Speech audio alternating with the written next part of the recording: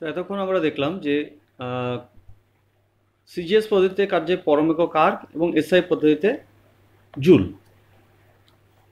তাদের মধ্যে সম্পর্ক কি? জুল এবং আর্কের মধ্যে সম্পর্ক আমরা খুঁজে বার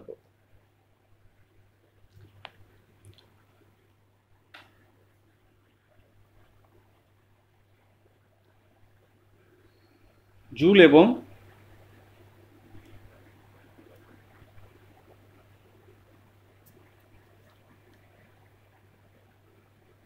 আর্গের মধ্যে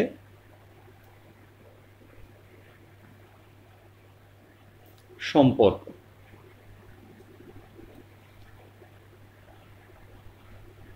আমরা পেয়েছি, দেখো।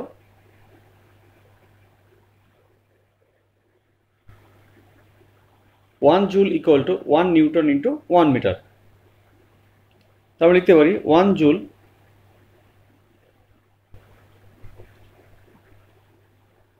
equal to 1 newton into 1 meter বা 1 joule equal to 10 to the power 5 dyne into 1 meter মানে 10 to the power 2 centimeter বা 1 joule equal to 10 to the power 5 into 10 to the power 2 অর্থাৎ 10 to the power 7 dyne into centimetre means erg তারপরে সম্পর্কটি বের করলাম one joule equal to ten to power seven erg এবার আসা যাক কার্যের অভিকর্ষীয় একক এদেরকে আমরা কি করে ডিফাইন করব? যেটা দেখালাম সিজিএস একক গ্রাম সেন্টিমিটার এবং এসআই একক হলো কিলোগ্রাম মিটার। তো আসা যাক, প্রথমে গ্রাম সেন্টিমিটার।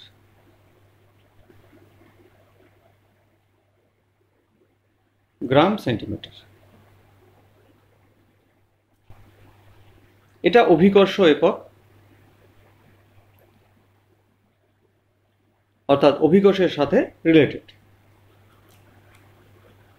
তাহলে কোনো বস্তুকে, একটা বস্তু ভূমিতে রয়েছে,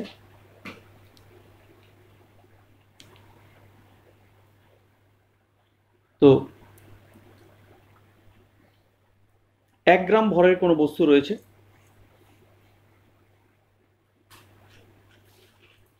একে আমাকে তুলতে হবে অভিকর্ষের বিরুদ্ধে এক সেন্টিমিটার। এক সেন্টিমিটার উপরে তুলতে হবে।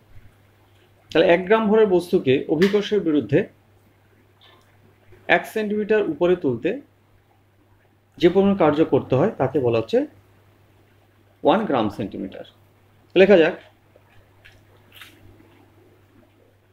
এক গ্রাম ভরের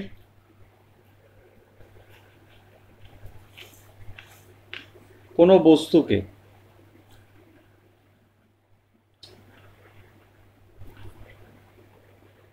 অভিকর্ষের বিরুদ্ধে।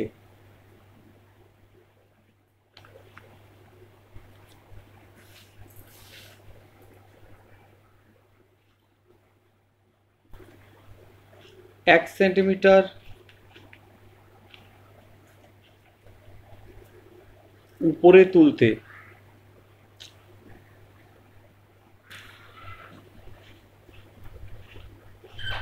যে পরিমাণ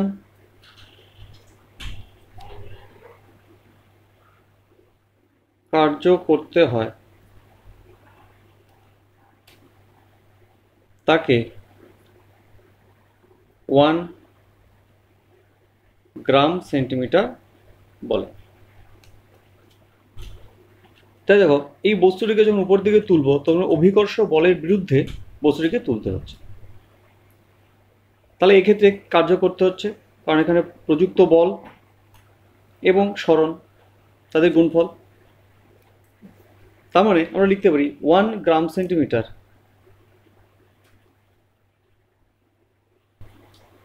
equal to one gram weight বা গ্রাম ভার ইন্টু ওয়ান সেন্টিমিটার তার মানে ওয়ান গ্রাম ওয়েট এই বলের বিরুদ্ধে বছরকে তুলতে হচ্ছে one centimetre one gram weight মানে হচ্ছে nine eighty dyne into one centimetre, অর্থাৎ nine eighty dyne into centimetre মানে আর্ক। তাহলে one gram centimetre equal to nine eighty erg. এটা হচ্ছে অভিকর্ষ একক এবং এটা হচ্ছে পরম একক। তাহলে দুটোর মধ্যে আমরা একটা সম্পর্ক খুঁজে বার করলাম।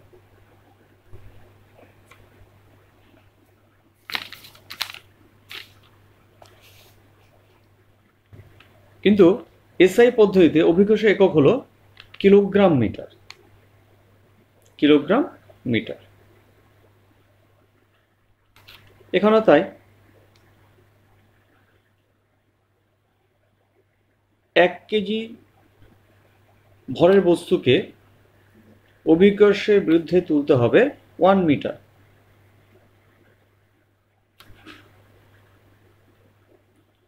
বস্তুটি এই অবস্থানে রয়েছে, সেখান থেকে বি অবস্থানে নিয়ে যাওয়া হলো, তার দূরত্ব হচ্ছে বা উচ্চতা হচ্ছে ওয়ান মিটার এবং বস্তুর ভর ওয়ান কিলোগ্রাম এই ক্ষেত্রে যে কার্য করতে হচ্ছে, তাকে বলা হচ্ছে ওয়ান কিলোগ্রাম মিটার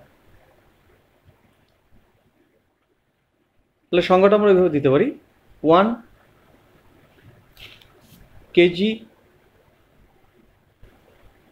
ভরের কোনো বস্তুকে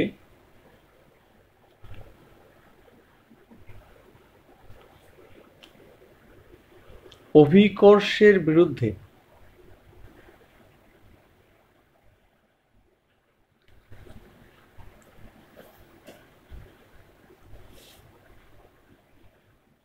এক মিটার উপরে তুলতে।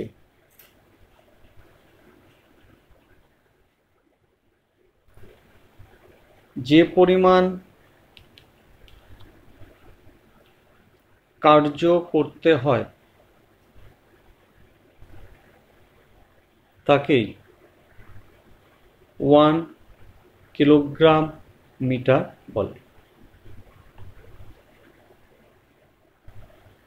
অর্থাৎ